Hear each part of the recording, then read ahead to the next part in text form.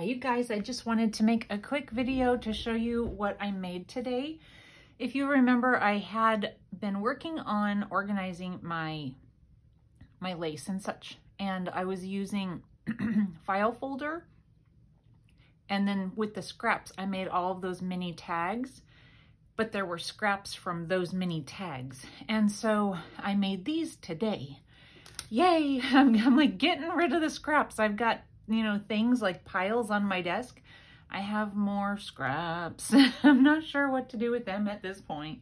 But um, I took a lot of my stamps, several different stamps, and I, I sort of just randomly stamped on the, you know, center, the edge, the just around, you know, on the scraps.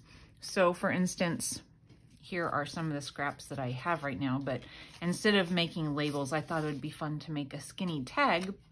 So that's why I didn't use this one. But, you know, I would just take the stamp and kind of stamp on the side or sometimes in the middle. Sometimes I would do it this way and I would stamp this way and I would stamp this way. You know, just all different areas of the paper and all different stamps. So I have some that are flowers, birds, the little hand. I have mail. I got these today from Dale at Not Too Shabby Chic. And so I went ahead and used those. Um, so just some different things. This is a flower stamp and I used, um, I turned it three different times and I got three different, you know, images from the stamp. Now for the labels, I just got these in the mail today and that was perfect. I was actually waiting for them to come in order to do this project. I got them on Amazon and I'm just making sure I've not got a shine on it or anything. They were $10, something like that. And it is Planner Essential, yeah, Essentials Stamps, Elizabeth Craft Designs. The number is CS133 and it's called Retro Labels.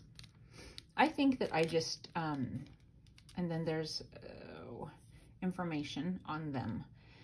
I just went onto Amazon and typed in rubber stamps or acrylic stamp, um, label stamps.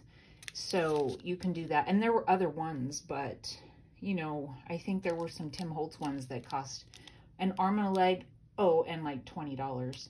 And so, sorry. Um, so I bought these and they worked fine.